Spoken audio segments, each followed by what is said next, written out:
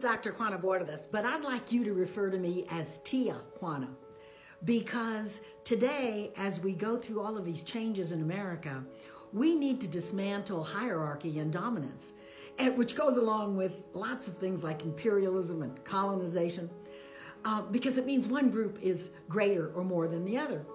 And uh, so, you know, in the old days in leadership, they had this idea of mentors. And mentors meant that you were following somebody who was ahead of you or who would teach you certain things, and that's good. Um, but mentoring still means one up, one down. Well, most of you had a favorite aunt or a favorite Tia, right? And your Tia was somebody, well, she was a little bit older, and I guess you know from my white hair I am, but she was more like a, um, well, a, a, confidant, a friend, someone to give you good advice, someone to connect you with maybe your parents and other people that you wanted to be connected to but didn't quite know how to.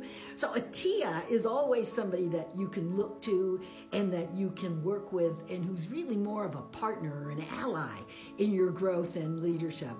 And so I have asked my students, the people that I teach and I work with, to call me Tia Juana, not Dr. Juana or JB or any other name like that, just to call me Tia Juana.